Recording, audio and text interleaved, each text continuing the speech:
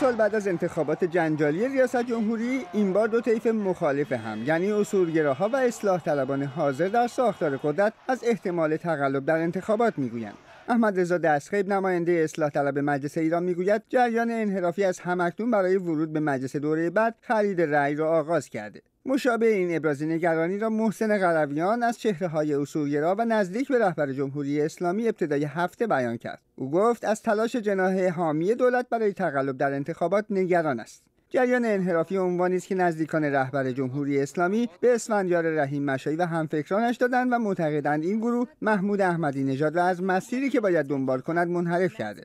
اما آیا گروه انحرافی توان تقلب در انتخابات را دارد؟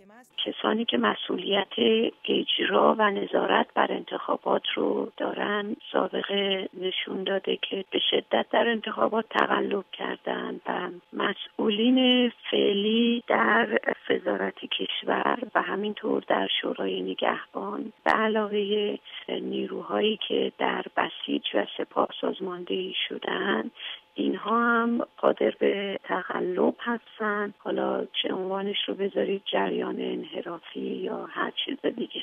تقلب در انتخابات موضوع جدیدی نیست. در انتخابات مجلس ششم شورای نگهبان ناگهان با ابطال حدود یک میلیون رأی مردم تهران اکبر هاشمی رفسنجانی را به جایگاه بیستم منتخبان این شهر در مجلس ارتقا داد. مگه گداییم که صدقه بخوایم در انتخابات ریاست جمهوری سال 84 هم محمود احمدی نژاد در دور دوم ناگهان جای مهدی کروبی را گرفت.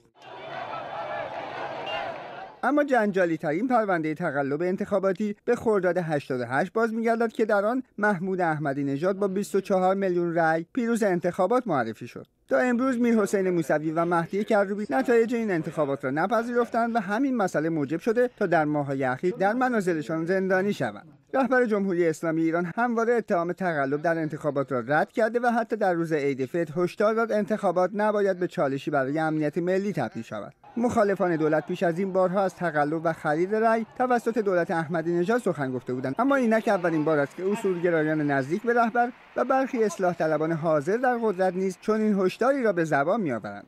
این هشدارها حکایت از درستی نگرانی و همچنین ادعای آقای مهندس میر حسین موسوی و آقای مهدی کروبی و به طور کلی جنبش فعالین جنبش سبز هست. مخالفان دولت تا کنون از نتایج انتخابات گذشته قانع نشدند و سه روز پیش میر حسین موسوی به حامیانش پیام داد تا وضعیت فعلی تغییر نکرده امیدی به شرکت در انتخابات نمی‌توان داشت. آرش سیگاچی صدای آمریکا.